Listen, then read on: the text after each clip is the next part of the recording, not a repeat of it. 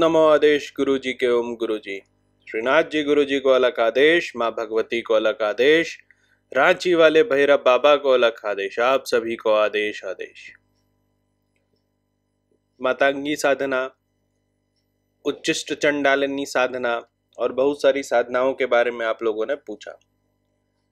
उन सबसे बेहतर साधना है, उन सबसे कम डेंजरस साधना है, गृहस्थ भी कर सकते हैं। ये विप्र चंडालिनी प्रत्यक्षीकरण साधना है। बहुत सीक्रेट साधना नहीं है ये ये आपको खोजने से मिल भी जाएगा। लेकिन इस साधना को करने से पहले आप जो है अपने गुरु का परामर्श ज़रूर लें। सात दिन की ये साधना है, ठीक है? एक अच्छा साधक इस साधना को अगर करे तो सात दिन में उसके सामने विप्र चंडालिनी जो माँ का रूप है, वो प्रत्यक्ष हो जाएगा। और नहीं होता है तो फिर 21 दिन 21 दिन में तय है, जो दूसरा 21 दिन करेगा, उसमें इनका दर्शन ज़रूर होता है। तो चंडालिनी, उच्च चंडालिनी, विप्र चंडालिनी दस महाविद्या में आती है। माँ मातांगी है, उनका ही रूप होता है ये उच्च चंडालिनी का। देवपुत्री हैं तो बहुत सारा इनका रूप है, जिसमें कि देव वार्ताली आती हैं, उच्चिष्ट वार्ताली आती है, उच्चिष्ट चंडालिनी आती हैं। तो विप्र चंडालिनी साधना जो है वो सात दिन की साधना है। सीधे सीधे मुद्दे पे आता हूँ। इसमें करना क्या है? सात दिन तक आप लोगों को, क्योंकि ये सात्विक मंत्र है, ये, जो मंत्र मैं आपको बता रहा हूँ, ये साबर नहीं है। तो सात्विक विधि में क्या होता है कि आप बिल्कुल ही सात्विक रहेंगे मतलब भोजन से सात्विक, शरीर से सात्विक, ठीक है? तो जिस जिस चीज़ों का सात्विक धर्म में फॉलो किया जाता है, वो सब चीज़ें जो है, वो सब चीज़ें आपको माननी पड़ेंगी। बहुत चीज़ आपका बैन रहेगा।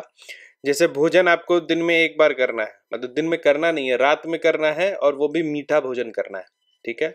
आप अपने बिस्तर पे नहीं सो सकते हैं, आपको सोना है नीचे, ठीक?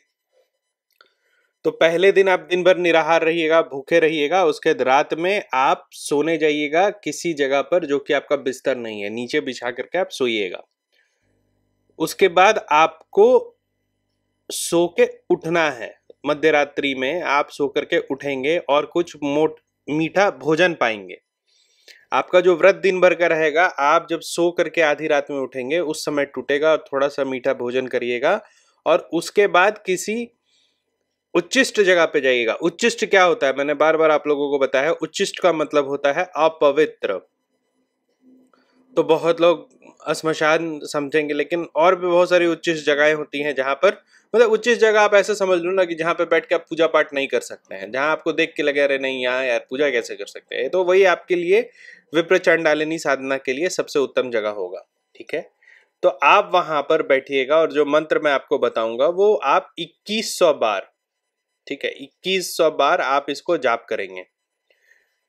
जब आप इसको जाप कीजिएगा, पहले दूसरे दिन तो नहीं समझ में आएगा, तीसरे दिन से आपको अजीब अजीब चीज़ें अपने आसपास दिखेंगी। तो डरिएगा मत। मैंने शुरू में बोला कि गुरु से थोड़ा आप एक बार पूछ लीजिएगा कि मैं ये साधना करने जा रहा हूँ। तो गुरु का आशीर्वाद लेके करिएगा। तो जैसे आप दो तीन दिन साधना कर लेंगे तो आपको विचित्र विचित्र चीज़ें दिखाई देंगी। ठीक है? सपने आपके बहुत ज़बरदस्त आएँगे। सपनों में आपसे बहुत सारी शक्तियाँ आकर के संपर्क करेंगी। उसमें भी डरने का बात नहीं है। उन, वो जो आपको इंफॉर्मेशन दे, वो रखिएगा आप अपने पास। ठीक है? और सातवें दिन माँ किसी रूप में आपके सामने उपस्थित होती हैं। ठीक है? जब माँ आपके सामने उपस्थित होती है तो आपको ना भयभीत होना है, ना मोह में बन जाना है। आपको सीधे माँ को पकड़ना और बोलना ऐसा है माँ कि तुम अब मेरे साथ, मेरी माँ के रूप में हमेशा रहो। हाँ? और मैं जो बोलूँ, वो सब कार्य तुम करो। मेरे बुलाने पर तुम आना। ठीक? ऐसा नहीं कि वाह, देख लिया माँ, बहुत मोहक रूप में ये वाह माँ। या डर के भागने लगे, ऐसा नहीं करना है। जिनका सात दिन में माँ का प्रत्यक्षीकरण नहीं होता है, वो भी हड़बड़ाएँगे नहीं। वो अगले इक्कीस दिन तक साधना करें। मतलब सात के अलावा इक्कीस तो उनको बिल्कुल दर्शन होगा। तो मंत्र क्या है? विप्र चंडालिनी का मंत्र है। एक ही बार बताऊँगा। इसको ध्यान से आप लोग सुनिएगा। ओम नमः चामुंडे प्रचंडे इंद्राय। ओम नमो विप्र चांडालिनी शोभिनी प्रकर्षणी आकर्ष्य द्रव्य मानय प्रबल मानय हुम फट स्वाहा।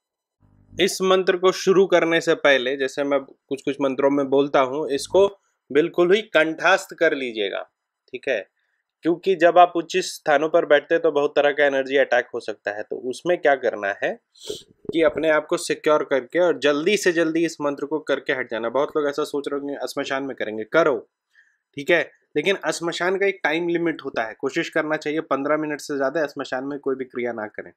तो इस मंत्र को आप 2100 पहली बार जपेंगे। तो क्या करना है? सुबह से भूखे रहे, ठीक है? बिल्कुल पवित्र रहे। रात में सो गए, बेड पे नहीं, किसी और जगह पे। नीचे बिछाकर सो गए। मध्य रात्रि में उठे, उसके बाद अपना व्रत तोड़ा, कुछ मीठा भोजन करके। उसके बाद उच्चिष्ट जगह पर चले गए। उसके बाद इक्कीस सौ जाप किया, आकर वापस सो गए, ठीक है? ऐसा आपको निरंतर सात दिनों तक करना है। किसी को इस साधना को जब आप शुरू करेंगे तो किसी को इस साधना के बारे में पता नहीं चलना चाहिए, ये भी एक इसका सिद्धांत है। उसके बाद आपको कुछ कुछ चीज़ें दिखेंगी और अंत में माता का दर्शन होगा। तो ये था विप्र चंडालिनी प्रतीक्षीकरण साधना। आज के लिए इतना ही।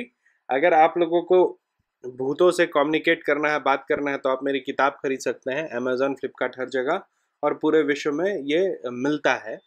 इसके अलावा आप मुझसे बात कर सकते हैं call me for app download करके, उसको आप प्ले स्टोर या ऐप स्टोर से डाउनलोड कर लीजिए, उसमें रूटरनाथ सर्च करिएगा तो मेरा प्रोफ़ाइल दिखाई देगा, आप उससे डायरेक्ट मुझे कॉल कर सकते हैं, या फिर आप अपॉइंटमेंट दे करके मुझसे व्हाट्सएप पर बात कर सकते हैं। आज के लिए इतना ही, मैं चढ़ डालेंगे आप लोगों को कृपा बरसाए आप सभी को आदेश आदेश आदेश अलाख